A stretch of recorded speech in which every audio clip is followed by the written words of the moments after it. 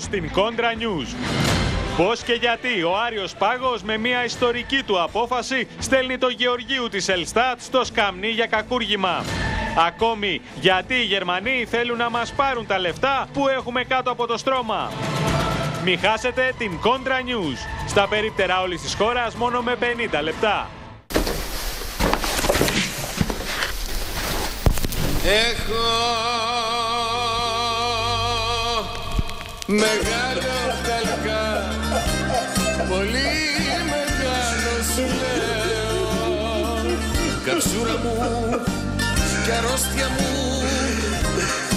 Με κάνεις πάλι να κλαίω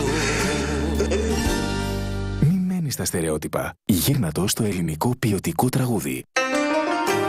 Ελληνικός 93,2. Η Ελλάδα σε πέντε γραμμές. Η μαχητική, αντιμνημονιακή και ανεξάρτητη φωνή της Contra News τώρα με ένα κλικ στον υπολογιστή, το tablet ή το κινητό σας.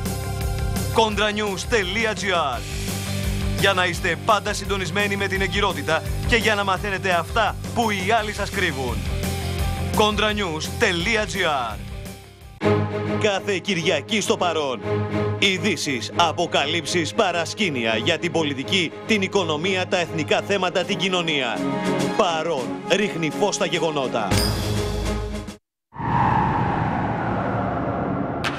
Η αλήθεια καίει. 105 και 5. Στο κόκκινο. Έχεις το λόγο.